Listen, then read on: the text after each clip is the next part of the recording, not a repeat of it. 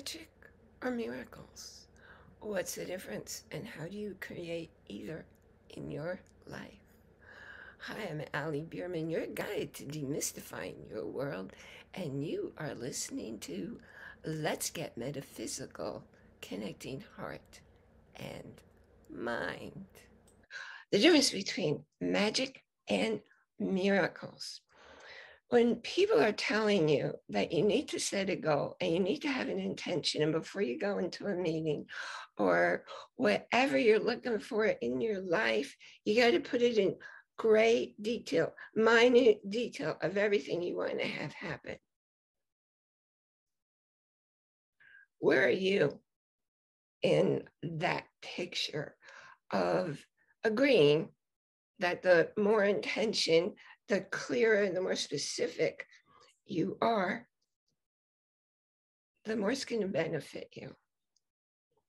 Now, I have always been someone who sees things from a different perspective. And here's what I witnessed ages ago, okay?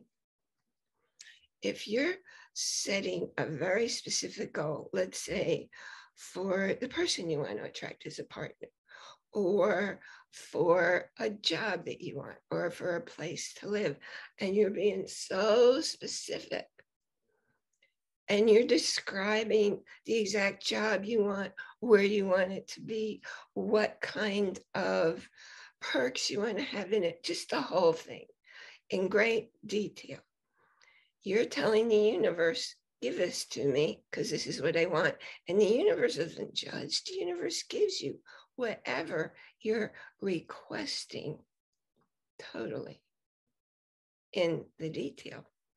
But what you're missing out on, let's say you've described job A, but the universe knows there's a way better opportunity for you in job B but it can't deliver it to you because you've put out the request for job A. So you are limiting yourself. You are severely limiting yourself in choices by limiting what the universe can deliver to you. On the other hand, when you put out a more general feeling of what you're looking for, then you're allowing the universe to fulfill that general feeling in whatever detail is going to be best, be best for you. Now, let me give you some examples. Okay, years ago, more than 10 years ago, when I had a brain tumor, and it was in a really, really dangerous place. And when I went to, I wanted a particular neurosurgeon, and I was referred from that person. He said, No, you want this surgeon instead. So I'm reading the evaluations, and people say, Oh, but this guy has a terrible bedside manner. So I didn't want him what a reason to not some, want somebody. And thank goodness somebody else who also had a brain tumor that didn't need surgery. She said, Let me help you with this. And she contacted some other neurosurgeons because she'd been in that realm already for a while in her own self care. She said, This guy is the number one best in the country at this particular surgery. This is how dangerous the location of it was. It was wrapped around my brainstem and going down into my first and second cervical vertebrae. Why is that so dangerous? Because if you make a mistake, if you make a slip in that area, you could wind up, well, dead. You could wind up paralyzed.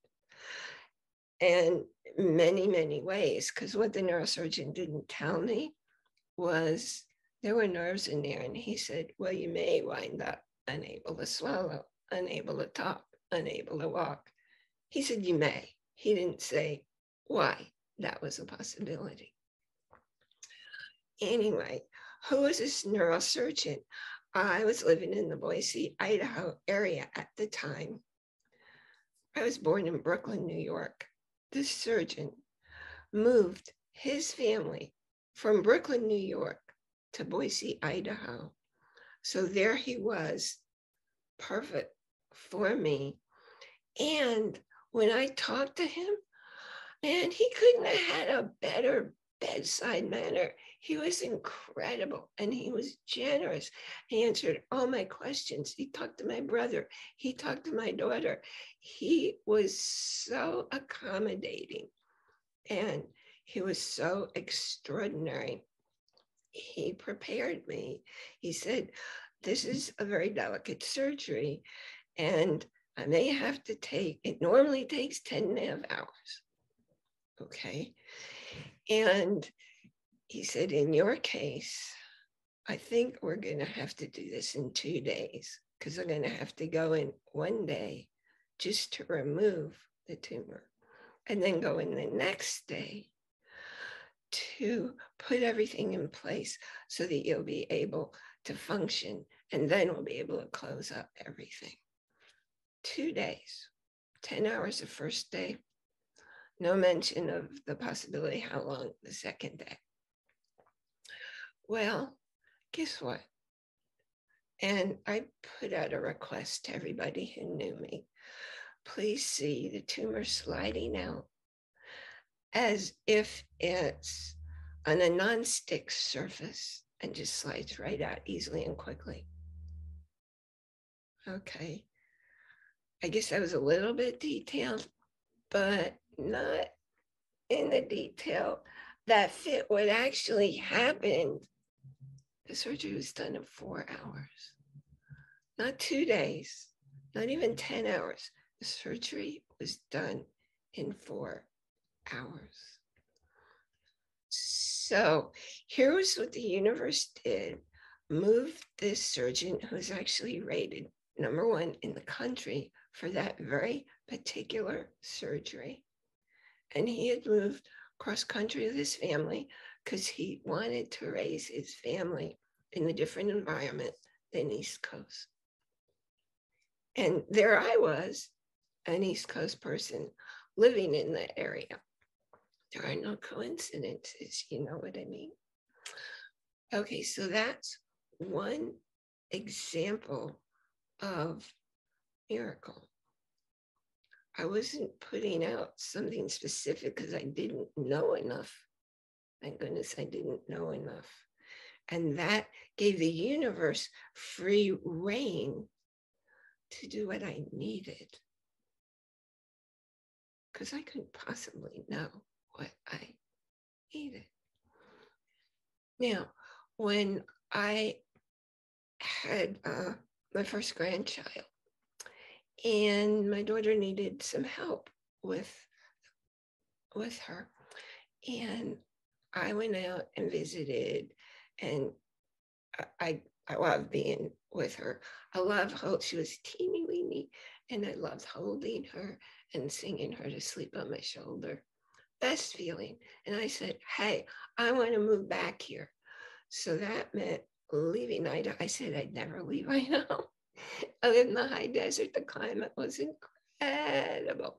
Anyway, I said, I want to move back to New York. I don't want to live in the city where you live, but I want to be, say, an hour, an hour and a half away. And that's all I said. Packed up my truck. My most amazing friend, who has all these extraordinary talents, drove my full truck, towing my car through bad snowstorms Anyway, we made the trip. I did not have any place in mind of where I wanted to live. What I knew was I wanted to be in the country and I couldn't walk steps. Now, that last part, I couldn't walk steps, is really, really important. So I'm looking at all these houses. None of them were in the country. They were all horrible. And all my life, from the time I was little, I said, I don't care if I live in a shack. I just want to be in the country. Well, I think it was my daughter found this house and it was in the country across the oh, country, mountains, lakes. I don't like oceans, I like lakes. She finds this house. It's a little house and it bordered on the Appalachian Trail. I could go out my door and find six different entries to trails, Appalachian Trail. Did that answer my lifelong desire to live in the country? Yes. And to look out my window and across the street, there's a big, beautiful lake. However, there was this big catch. The only way to get into it was walking steps. And here's where a miracle came in not just the fact that I didn't know where I was moving into. And here happens the house at the location with the view that I really wanted. But there were these steps that I couldn't walk. Well, I really wanted to live there. And so what I did was I healed pretty instantly. Okay. I could walk the steps. I had to walk them carefully and slowly at first, but I could do it because the universe knew what I wanted and gave me, gifted me what I needed to be able to live where I always wanted to live. Now, the other side of that was when I was little and I said, I don't care if I live in a shack, I just want to live by the land and the water. And the house was actually a bungalow, which is a step above shack. And I lived there for two years, and it was just too darn small for me. So I went out looking again, not having any idea what I wanted, where I wanted, except again, I wanted to be in the country. And now I was able to walk steps. And oh my goodness, here comes a house. It's a two family house, separate accommodations, which means I didn't have to live there alone. And are you ready for this? This house has a big pond full of beautiful, beautiful fish. The yard is surrounded on, I guess it's three sides by woods. And what I get to enjoy out the window, actually, where I'm sitting now, my office looks out. On the yard, I see deer. Sometimes I'll see a mountain lion. Sometimes I'll see foxes, wild turkeys, squirrels, of course, birds in all kinds of colors I never saw before, never heard of. Did that fill my heart? You better believe it. Was in the country, which is why I have challenges sometimes with my connection. So what? Uh, when I didn't live in the country, I had challenges with connections, miracles again. And because this time, once again, I wasn't putting out the specifics. I was putting out the general goal in my life, in my world. And it made it easy for the universe to provide the miracle of the house. Oh, and as if that wasn't enough, the house is 15 minutes from the Omega Institute. If you're into anything spiritual, you know the Omega Institute. The greatest names in the world of spirituality, including the Dalai Lama, come to the Omega Institute to speak, to share, to teach. And because I live in the small town the Omega Institute offers all kinds of freebie stuff to people who live in this beautiful small town. So I can go up there. I can be by the beautiful lake. I can use the kayaks and the canoes and go out on the beautiful lake or just enjoy being on one of the chaise lounges by the lake.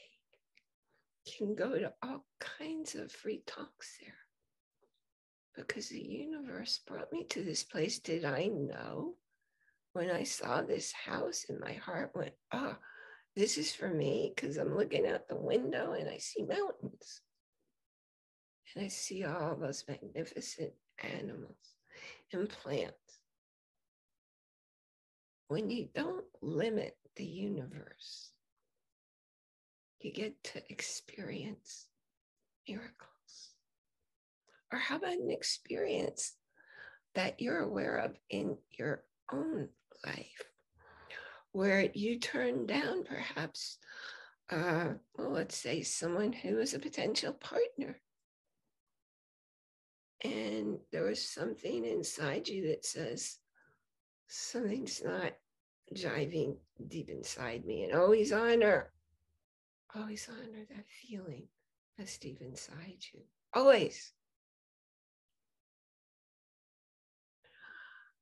And then, oh my goodness, along came somebody whose energy meshed with yours, matched with yours, not because you were fitting together each other's wounds, which is how almost all relationships start, which is why they don't last.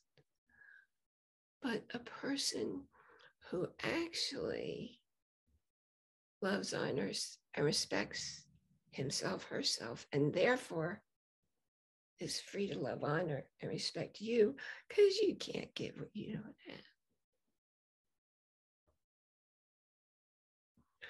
Those are some very vivid experiences in my life. And and what I wanted to mention to you today, if you've been following me in my life for the last 10 and a half years, you're probably aware that my functioning's better, that my hair's getting dark again, that my speech is clear. And you know what else I can do? I can blow my nose. I couldn't do that for 10 years. And you know why?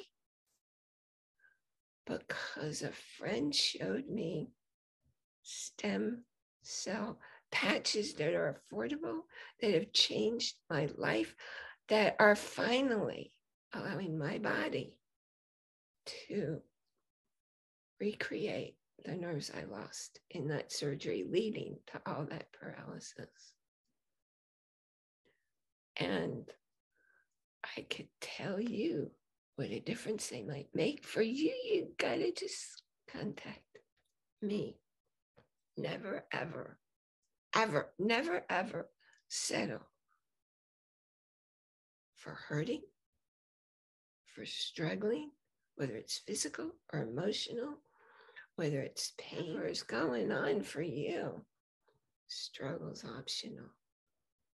And you message me directly, and I will talk with you about how to make your life happy again.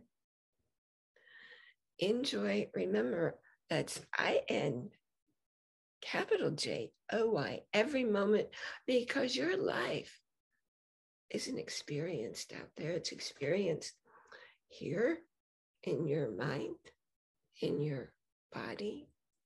When you see something, you're not seeing it outside of you, you're seeing it inside. You're hearing it inside. You're tasting, touching, smelling inside you. So enjoy your life. And I want to remind you to join our Facebook group where you'll find all kinds of additional videos and special offers and just fun meeting other people. I will see you here next week. Oh man, I have something that's super fun to share with you next week.